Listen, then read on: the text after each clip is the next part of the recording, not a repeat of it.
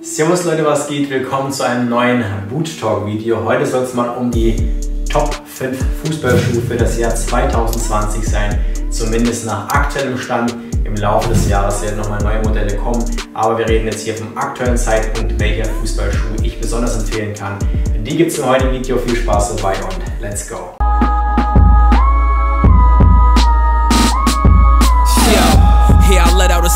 for black boys who I imagine could cry. Not knowing they fathers, they brothers who all lost from their lives. From government lies that rise, destroy the black family ties. Nah, yeah, their eyes is locked on the sets and confusion replies. The dress unintentionally worn for a check, gotta laugh, plenty revenue form. Do it again, though only the black ones get the roles, this by design. Starten wir mit Platz Nummer 5 und vielleicht schon die erste Überraschung, aber hier geht es um mein persönliches Voting und um Fußballschuhe, die ich besonders äh, gerne spiele und euch auch empfehlen kann mit reinem Gewissen. Deswegen hier auch mein kleiner Underdog und zwar der ähm, Under Armour Magnetico. Wir haben hier einmal den Magnetico SL und hier einmal noch den normalen Magnetico in der Sockenvariante in einem sehr, sehr auffälligen orangigen Colorway. Ich bin ein Riesenfan von den Schuhen von Under Armour, das solltet ihr mittlerweile wissen. Zu diesem Schuh gibt es auch schon ein Review, beziehungsweise zu beiden Varianten. Könnt ihr gerne mal abchecken. Der sieht sogar ähnlich aus wie der Superfly. Ich muss auch sagen, dass das Ballgefühl in beiden Schuhen extrem gut ist. Wir haben hier das Match Control Upper und äh, die Form True Size. Das heißt, dieser Fußballschuh passt sich durch das weiche Obermaterial nochmal hervorragend an deinen Fuß an. Das kann ich auch bestätigen. Der Komfort ist bei Under Armour Schuhen generell hervorragend und auch mit Spielern mit breiten Füßen äh, zu empfehlen, weil das Obermaterial sehr weich ist und sich dadurch weiten lässt. Man muss aber sagen, das Obermaterial ist sehr, sehr dünn. Das heißt, man hat einen sehr, sehr direkten Touch. Für äh, Spieler, die jetzt zum Beispiel eher eine Polsterung wollen, äh, ist der Schuh mir nicht zu empfehlen, weil es wie gesagt sehr, sehr dünn ist. Aber ich muss sagen, war extrem überrascht von diesen Fußballschuhen, feiere sie mega. Das heißt, wenn ihr mal eine andere Marke probieren möchtet, kann ich euch Under Armour extrem empfehlen mit dem Magnetico SL und dem normalen äh, Magnetico. Völlig zu äh, Recht auf Platz Nummer 5. Weiter geht's mit Schuh Nummer 2 bzw. Platz Nummer 4. Wir haben hier den Puma Future 5.1 mit dem Netfit Upper. Dieser Schuh ist auf jeden Fall extrem gut, was das Thema Passform und Komfort angeht. Wir haben hier das ähm, Netfit Upper bis im Vorderfuß, das heißt, es ist ein sockenähnliches Gefühl, auch im Vorderfußbereich. Gleichzeitig funktioniert das Netfit Upper äh, nochmal deutlich besser, dadurch, dass das Sockenmaterial bis vorne ist. Dadurch ist der Fuß, äh, der Schuh allgemein flexibler am Schuh und das Schnüren kann sich, wie gesagt, personalisieren und durch die Socke funktioniert das System deutlich besser. Komfort wirklich hervorragend, das heißt, wenn man in diesem Schuh Druckstellen oder andere Probleme hat, macht man eindeutig was falsch. Dieser ähm, Puma Future ist auch für äh, Schuhe äh, bzw. breite Schuhe geeignet, für mittlere und auch schmale. Ich habe bis jetzt über alle Kollegen, die die Schuhe getestet haben, haben wir alle verschiedene Fußtypen schon mal probiert, gab es keine Probleme. Das äh, Obermaterial ist gleichzeitig schön weich. Es ist nicht das dünnste Obermaterial, aber nach der Einlaufphase wirklich sehr, sehr soft. Angenehm am Fuß, auch hier die Ebony-Zocke am Knöchelbereich extrem gut gemacht. Optisch auch absolute, absolutes Biest. Was ja auch nochmal ein Vorteil ist, dieser Schuh ist aktuell sehr krass reduziert. Normalerweise kostet er 199 Euro, aktuell gibt es ihn sogar zwischen 100 und 120 Euro für ein Topmodell. Wirklich ein sehr, sehr guter Preis. Performance-technisch, wie gesagt, überzeugt mich der Schuh. Wenn ihr nochmal genauere Fakten wollen, äh, haben wollt, wie gesagt, was der Schuh jetzt gut macht, was vielleicht noch ein bisschen Potenzial hat, könnt ihr gerne mal das Review abchecken. Link findet ihr in der Infokarte oder auch in der Beschreibung sind alle Schuhe verlinkt. Gibt es logischerweise schon als separates Review, aber auf jeden Fall völlig verdient in diesem Voting der Puma Future 5.1. Weiter geht's mit Platz Nummer 3 und hier haben wir den Adidas Predator 20 Plus und 20.1 äh, beide sehr, sehr gut. Äh, ich spiele den 20 Plus etwas häufiger, deswegen reden wir jetzt mal über dieses Modell. Das ist auf jeden Fall die neue Waffe von Adidas auf dem Markt. Der Schuh ist äh, sehr, sehr krass eingeschlagen und sehr, sehr beliebt. Vor allem das Demon Skin Upper hat für ordentlich Aufmerksamkeit gesorgt.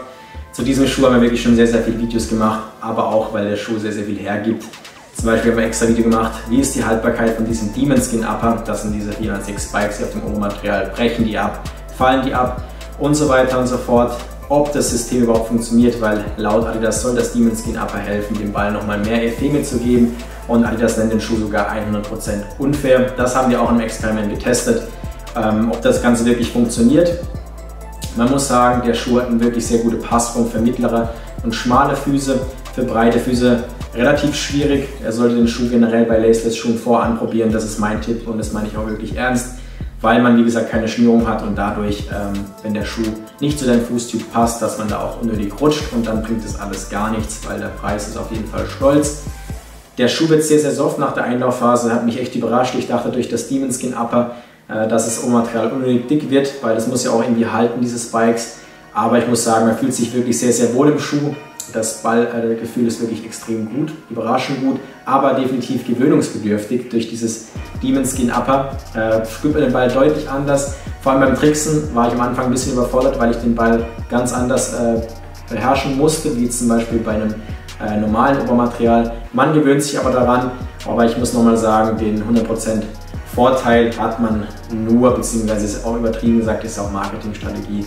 Ähm, den Vorteil hat man aber auch nur, wenn man weiß, wie man diesen Schuh einsetzt. Das heißt, man muss ähm, wissen, wie man Ball mit, äh, Spin mitgibt. Automatisch klappt das auch mit dem Demon Skin Upper logischerweise nicht, aber das hat Adidas auch nie behauptet.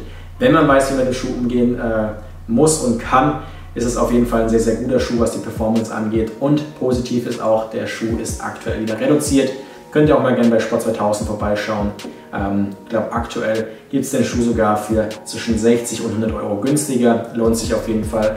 Wir haben, wie gesagt, hier den 20.1 und den 20 Plus und völlig verdient aufgrund der Performance von Demon Skin Upper und auch von dem Hype, den dieser Schuh ausgelöst hat, auf Platz Nummer 3 der Top 5 Fußballschuhe 2020. Auf Platz Nummer 2 teilen sich gleich zwei Schuhe diesen Platz und zwar der Nike Phantom Vision 2 und auch der Adidas X 19.1.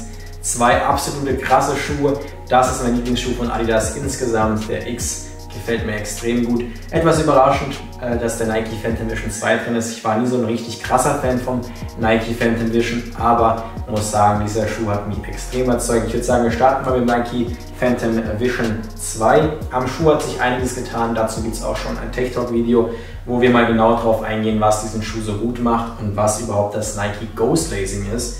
Weil auf den ersten Blick denkt man, dass dieser Schuh ein Laceless Schuh ist, aber das Ghost Lacing äh, versteckt die Schnürung nur unter dem Obermaterial. Dadurch hat man natürlich keine Störung hier, was äh, die Schnürung angeht, wenn man den Ball verarbeiten möchte. Insgesamt ist dieses Upper extrem krass, zählt zu den dünnsten und auch flexibelsten, die es aktuell auf dem Markt gibt. Der Grip ist wirklich sehr gut. Das ACC, All Condition Control Upper, äh, wird von ein paar Fußballnerds eher so ein bisschen als Witz genommen, weil äh, so ein bisschen die Strategie dahinter aber streckt war. Aber ich muss sagen, man hat einen sehr, sehr guten Grip und auch die Performance allgemein vom Schuh am Ball ist wirklich hervorragend. Einen sehr, sehr direkten Touch. Ich muss sagen, von der Form her macht mich der Schuh nicht ganz so krass an. Ich glaube, deswegen äh, ist er auch nicht so beliebt wie der Nike Superfly oder Nike Vapor, aber von der Performance wirklich extrem gut gemacht. Wir haben hier auch ein paar Updates bekommen, dass dieses Ghost Lacing beispielsweise direkt mit diesem inneren Material verbunden ist und dadurch den ganzen Schuh schnüren kann, quasi nicht nur den Mittelfuß, sondern der ganze Schuh lässt sich schön anpassen. Der Komfort ist wirklich hervorragend, anders kann man es nicht sagen. Man braucht keine Einlaufphase in diesem Schuh, hat dadurch einen sehr, sehr guten und soliden äh, Komfort, kann man nicht meckern. Auch die Traktion und die, halt, äh, die Haltung innerhalb des Schuhs ist gut gewährleistet. Der Schuh ist äh, schön stabil und auch die Stollen sind für maximale Traktion und Geschwindigkeit ausgelegt. Das heißt, auch dieser Schuh auf jeden Fall völlig zu Recht auf Platz Nummer 2.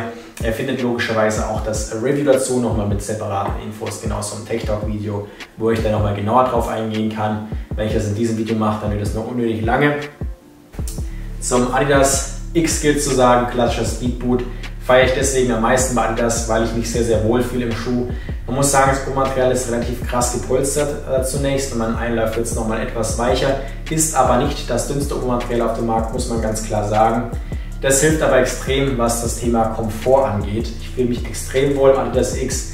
Äh, auch für mittlere und breite Füße kann man an den Schuh schon mal rantasten, sollte sich aber vorher auf jeden Fall mal äh, den Schuh anpassen bzw. anprobieren, um zu gucken, welche Größe man braucht. Sie fahren relativ unterschiedlich aus zwischen den verschiedenen Marken.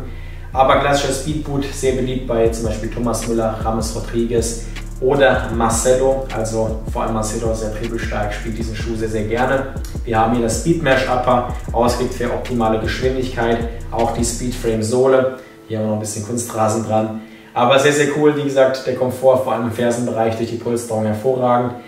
Der Ballkontakt nicht das direkteste, dadurch aber schön gepolstert, allem beim Tripling extrem gut, kann man nicht anders sagen. Deswegen ist es eigentlich, wie schon oft erwähnt, mein Lieblingsschuh von Adidas und auf Platz Nummer 2 damit der Adidas X19.1 und der Nike Phantom Vision 2. Kommen wir zu Platz Nummer 1 und ihr wisst, mein absoluter Lieblingsschuh, der Nike Vapor 13. Wir haben hier auch noch einen Superfly am Start, den Superfly 7. Das liegt daran, dass das Obermaterial identisch ist. Das heißt, äh, wir können hier beide Schuhe auf einen Platz nehmen. Diese Schuhe sind völlig verdient auf Platz 1, zumindest meiner Meinung nach, aufgrund des Flying Uppers. Ein extrem gutes Obermaterial, was für einen sehr, sehr direkten und äh, soften Touch steht. Das heißt, man kann den Ball sehr, sehr gut kontrollieren. Gleichzeitig haben wir hier das 360 Grad Flying Upper. Das heißt, wir haben hier in der Mittelsohle keine Sohle. Das hilft nochmal, die Fußform besser zu adaptieren. Das hilft beim Beschleunigen. Wir haben hier einen absoluten Temposchuh, also für schnelle äh, Dribbelsteigerspieler ist dieser Schuh eine optimale Waffe. Sehr, sehr leicht. Wie gesagt, äh, für Geschwindigkeit optimal. Haben wir auch schon im, äh, in einem Experiment gemessen welcher Fußballschuh denn die meiste Geschwindigkeit auf dem Rasen bringt und tatsächlich hat der Nike Vapor 13 mit dem 360 Grad Flying Upper gewonnen.